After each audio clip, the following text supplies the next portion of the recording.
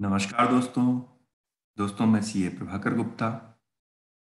दोस्तों, जब हम जीएसटी की रिटर्न फ़ाइल करते हैं, जब जीएसटी रिटर्न हम फ़ाइल करते हैं तो उसमें कुछ वर्डिंग्स आती हैं invoices related B to B B to C L B to C S आज हम इस वीडियो में इन सभी के बारे में जानेंगे कि ये क्या इन्वॉइसेज होती हैं, ये कब एप्लीकेबल होती हैं, कब ये इशू की जाती है उनमें क्या डिफरेंस है। उससे पहले हम आपसे रिक्वेस्ट करेंगे कि आप हमारे चैनल को लाइक, शेयर और सब्सक्राइब कीजिए। सबसे पहले हम क्वेश्चन देखते हैं। क्वेश्चन है what is B to B B to C L B to C S invoices at the time of filing GST return and on what basis should one classify them ये B to B बी क्या होती है और उन्हें कैसे classify किया है। तो दोस्तों, अब हम समझते हैं कि भाई ये क्या होती हैं invoices B to B B to C L and B to C S सबसे पहले हम बात करते हैं बी टू बी की। बी टू बी यदि हम इसकी फुल फॉर्म का बात करें तो इसका फुल फॉर्म होता है बिज़नेस टू बिज़नेस तो B to B means business to business transaction यानी कि जब आप सप्लाई करते हैं बिज़नेस टू बिज़नेस मतलब बिज़नेस का मतलब होता है यहाँ पर अगर हम सिंपल भाषा में करें कि registered person if you are a registered person आप रजिस्टर्ड पर्सन हैं और आप जो सप्लाई कर रहे हैं, जो सेल कर रहे हैं, उस कस्टमर को कर रहे हैं जो कि ऑलरेडी रजिस्टर्ड है जीएसटी के अंदर. तो ये जो सप्लाई होती है registered person to registered person जो सप्लाई होती है उसको बी टू बी यानी बिज़नेस टू बिज़नेस सप्लाई बोलते हैं। ये एज्यूम करके चलते हैं कि जो सामने वाला जो रजिस्टर्ड पर्सन है तो अल्टीमेटली वो भी बिज़नेस कर रहा है, इसीलिए उसने जीएसटी का रजिस्ट्रेशन लिया है। आप अपने घर के लिए कोई सामान खरीदने जाते हैं तो आप जीएसटी का रजिस्ट्रेशन क्यों लेंगे? आपको उसका क्या बेनिफिट है? जब आप सेल ही नहीं कर रहे तो। तो इसीलिए अगर supply registered person to registered person होती है, अगर आप रजिस्टर्ड है और सामने वाला भी रजिस्टर्ड है तो वो supply B to B supply कहलाती है। कंडीशन ये है कि सामने वाला पर्सन जिसको आप माल बेच रहे हो, वो रजिस्टर्ड होना चाहिए।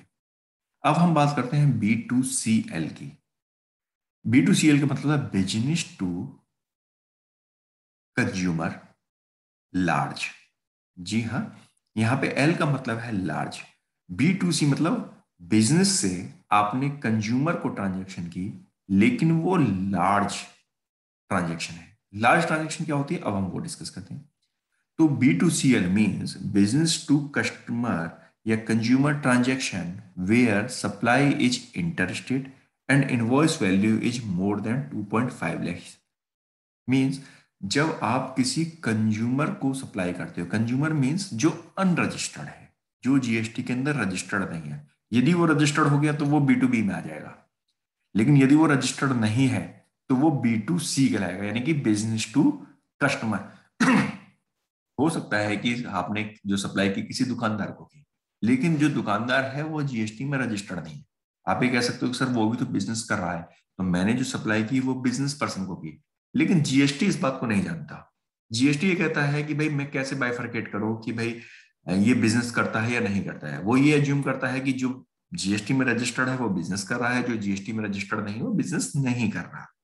For the term of issuing the invoicing तो बी टू सी एल का मतलब ये हो गया कि जब सप्लाई हो रही है बिज़नेस टू कस्टमर या इसे सिंपल भाषा में कह रहे हैं कि one registered person to another unregistered person या आप जो सप्लाई करते हैं किसी अनरजिस्टर्ड पर्सन को आप सप्लाई करते हैं तो वो सप्लाई बी टू सी कहलाती है। लेकिन एल का मतलब हो गया लार्ज लार्ज मीन्स कि वो पहली बात वो इंटर स्टेट सप्लाई हो और उसकी वैल्यू ढाई लाख रुपए से कम है। तो वो बी टू सी एल रहती है। B to C S B to C S का मतलब हो गया कि जैसे बी टू सी आपको पहले बताया कि बिज़नेस टू कस्टमर और एस का मतलब हो गया स्मॉल कि जो स्मॉल ट्रांजेक्शन स्मॉल ट्रांजेक्शन का मतलब है जीएसटी के अंदर ढाई लाख रुपए से कम की वैल्यू तो B to C S means business to consumer transaction where supply is interested and invoice value is not more than 2.5 lakh means आपकी यदि इनवॉइस की वैल्यू ढाई लाख रुपए से कम है तो वो बी टू सी एस में काउंट होगी। अब आपको एक चीज़ बता दें, यहाँ पर इनवॉइस एक इनवॉइस की बात हो रही है। ऐसा नहीं है कि आप ये कहें कि जी बी टू मैंने एक सप्लायर को सॉरी एक पार्टी को मैंने चार इनवॉइस इशू की, जिनकी कीमत अगर सपोज़ एक एक लाख रुपए टोटल चार लाख रुपए की की तो वो बी टू सी एस में कवर होंगी, ना कि बी टू सी एल में।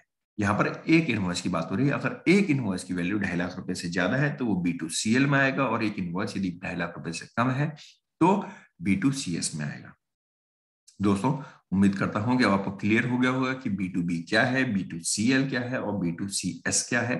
अब आप जब जीएसटी रिटर्न फ़ाइल करें तो अपने इन्वाइसेज को देख लें कि वो बी टू बी में कवर होंगी, या बी टू सी एल में होंगी, या बी टू सी एस में होंगी।